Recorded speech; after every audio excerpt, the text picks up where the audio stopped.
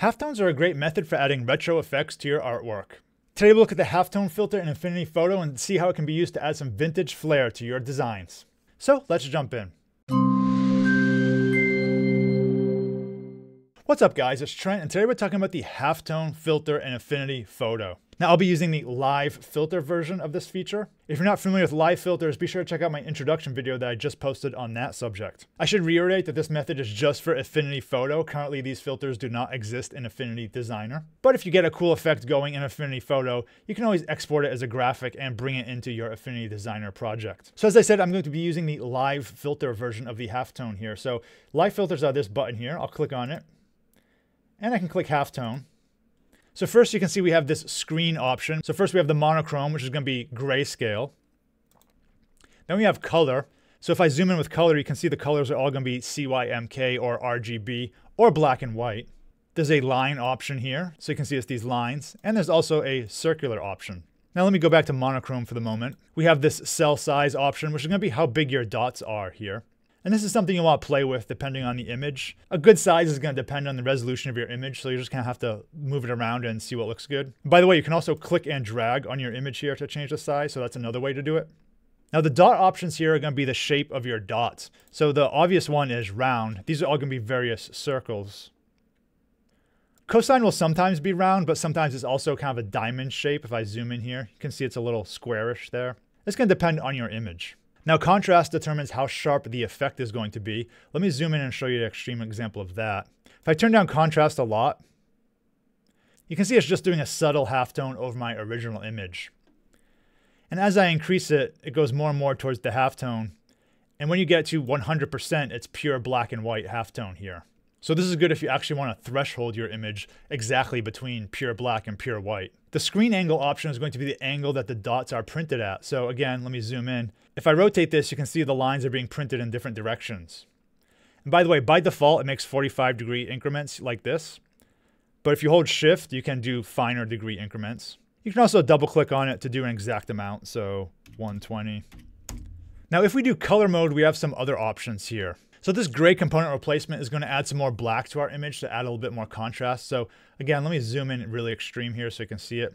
If I dial up this gray component replacement, you'll see these black dots appearing. So that's what that does. It can add a little bit different effect when you zoom out, it can make your image look a little darker. So it's kind of a style thing. And this undercolor removal option is going to remove some of the color. So it's going to make some of the colors smaller here. So as I turn it up, you can see it's reducing the color. So again, these two options are only effective when you're using the color screen mode. Now something you can also do with any live filter, including the halftone, is mask it. So let me turn off the live filter for a second. I'll choose my selection brush tool and I'll select my subject here. And what I can do is I can create a mask by clicking the mask layer button. Now what I can do is I can turn my halftone back on and I can apply that mask to just the halftone.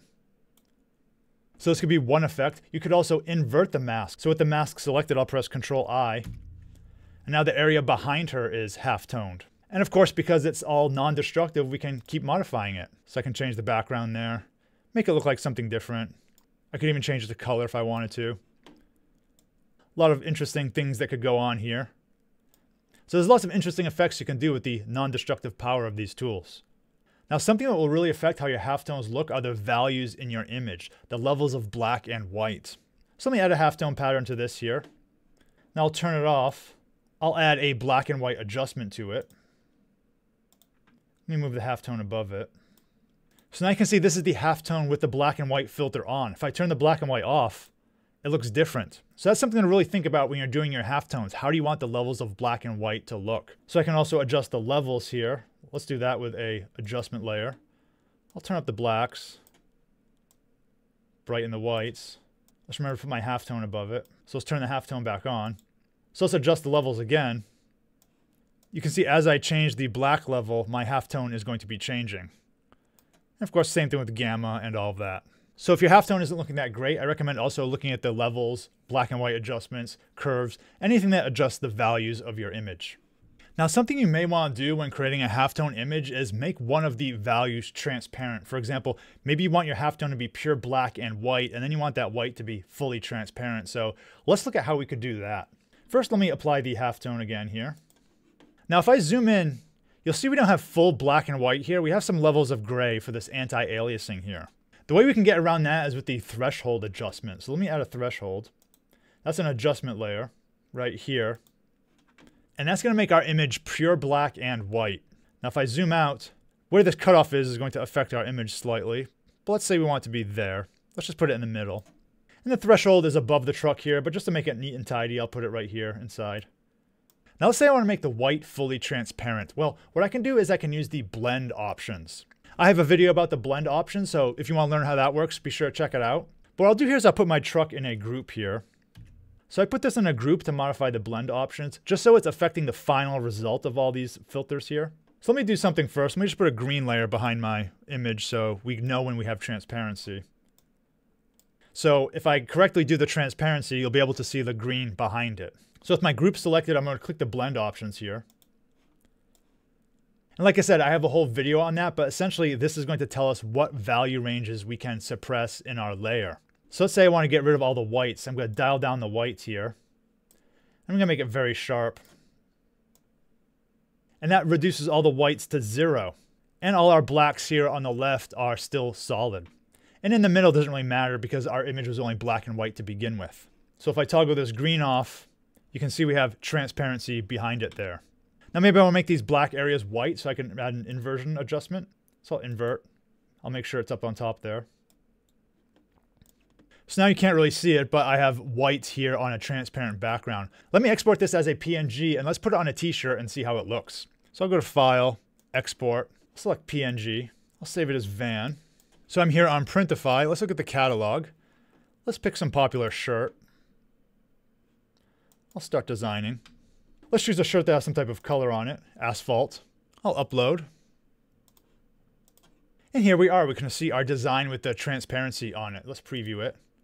Not the best design ever, but you can see that we actually achieved transparency with a halftone pattern. Now, one other thing you may want to do is just make halftone assets that can be used in other designs. For example, let me draw a square here. And I can apply the halftone pattern to it.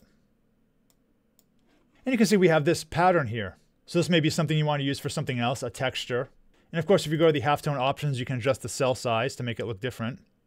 Now it's going to change the density of the dots as the level of gray. So right now I have this level of gray, and it's giving me this halftone. I'm going to change the slider here. If I make it darker, you can see the circles are much tighter. And if I make it lighter, you can see the circles are further apart. So it's a very nice way to quickly get these types of patterns. Now you're not limited to solid grays either. You can do a gradient. So I'll make a gradient going this way. Make it pure black on one side, pure white on the other. And if I turn on my halftone pattern, I get a pattern like this. So again, this could be very useful if you're doing comic book styles or something of that nature. You can use the gradient options to change the distribution of how it goes. You could also make it a radial gradient. So let me center it in the middle here. I'll bring this in, and I'll turn the halftone back on. So here we have this halftone circle, and I can reverse the gradient to make it go the other way. Again, if I select this black in the middle, if I change the color, I get all sorts of different distributions here. So it's a pretty handy tool for creating these halftone patterns.